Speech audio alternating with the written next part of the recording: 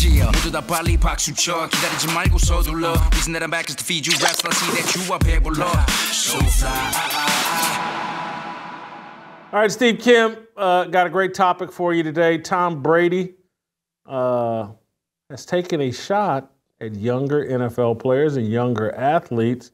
Uh, I think this is a part of Tom Brady's march back to an NFL team. Uh, but let's take a listen to uh, Tom Brady talking about young, spoiled players.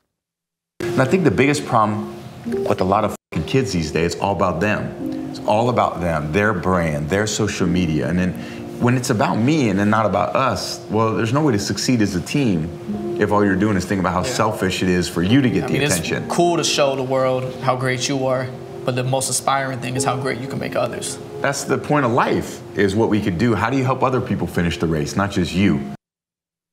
Mm. Uh, I love that Tom Brady. I miss that Tom Brady. I welcome him back to the NFL. Anyway, Oh. y- your thoughts there? Is he uh, is he just the old man yelling, "Get off my lawn"?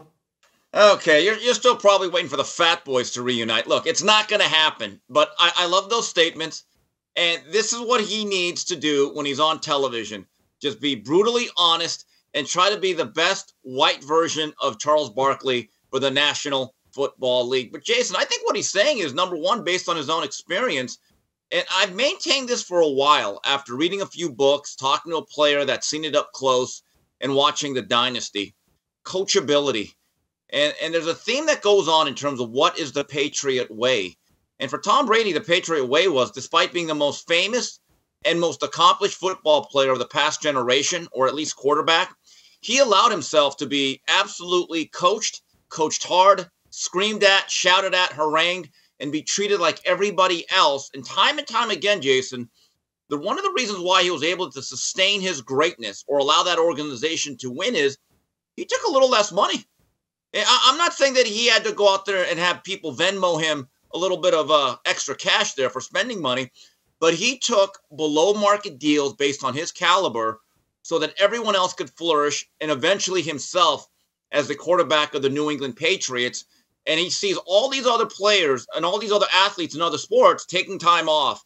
Uh, they're just taking mental health breaks, which he absolutely hates, and then not playing hard, not caring about winning. And for a guy like Brady, it probably disgusts him.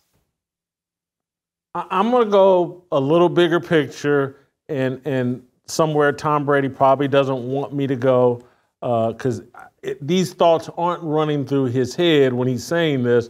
But, but what he's actually representing, and again, he's not thinking about this, but but the reason why Tom Brady thinks that life and sports are about uplifting your teammates and everybody around you.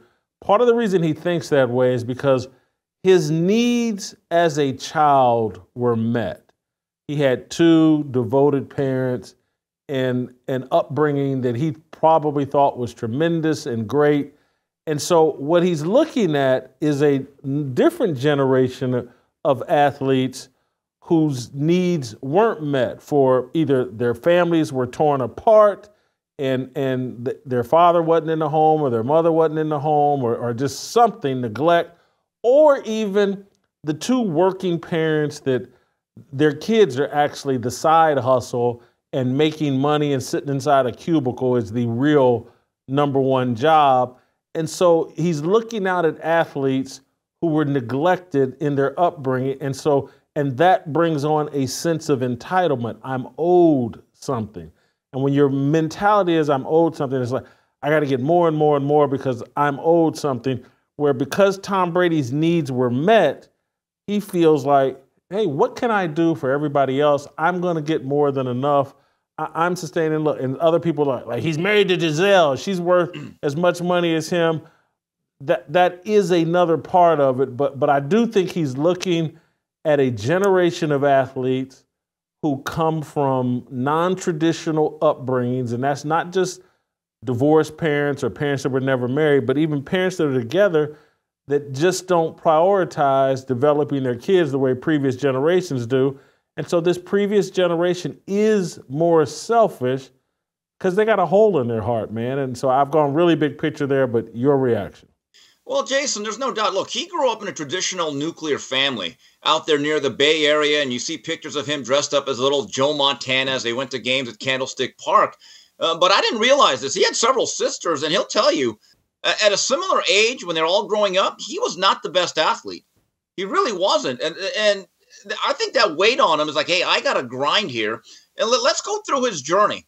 People don't realize this, and I, I know a lot of USC fans are going to be upset I didn't know that USC basically pulled a scholarship for him for a quarterback out of Illinois who's a dual threat back when they weren't running the spread. I think his name was Quincy Woods.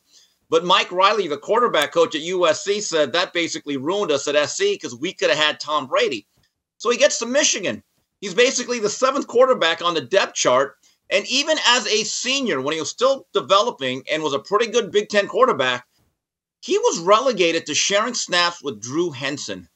So he's always had to work and grind. And I still remember him leading this great comeback, Jason. I'll never forget it against LaVar Arrington, your old friend, and Brandon Short and Courtney Brown. They were in Happy Valley. It was late in his senior year. Michigan is down by 10 with about eight minutes to go. And I'm thinking, game over. Tom Brady showed signs right then that he was a little bit different and he was a little bit special. Then he had a great game against Alabama in his Michigan finale in the Orange Bowl. Never forget it. The mixed extra point, game's over. And with all of that, he was the 199th pick in that draft. Okay, so Jason, I remember watching a uh, documentary on this. I think it's called The Brady Six. It was one of the 30 for 30s. You know, to this day, when Brady talks about his draft day experience, waiting at home with his parents, getting passed up by the likes of Spurgeon Wynn, you know, he still tears up. The guy actually get, and this is a year, this is like five Super Bowls in. The guy still gets very emotional, and he has to. I'm like, wow, you care that much about that slight. I think that says a lot about Tom Brady, and I think that's part of the reason why he reached the heights that he did. I'm gonna go back to my point. Just uh, Dan Hurley, the UConn basketball coach, just recently made the point about the key to his system is recruiting kids that have great parents. You have to mm. understand the parents, and the parents have to be on board. And all, and it, it's it's so true that you know, and and again, this is what Tom doesn't know that he's saying, but he's actually saying is like the the, the you can coach a kid who has great parents because the parents will be on your side as a coach, and and and what, what we've turned now, parents are all adversarial. They're adversarial with teachers. They're adversarial with anybody that criticizes their kids because their kids are so fragile.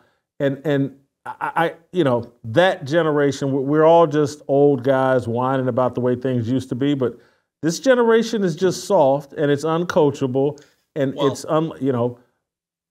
Go ahead, Jason. You make a great point, and, and again, Tom Brady's father he's been pretty outspoken at times, but I think he's laid back uh, because he realizes, you know what, I don't want to get my son into too much trouble. Okay. But he's shown pretty good restraint. I go in a lot of these Miami Hurricane spaces and other ones, and it never fails. The parents that go on there that are very boisterous and loud and complain, it never works out. In fact, they are the ones that end up transferring out and hitting the portal after a year or two.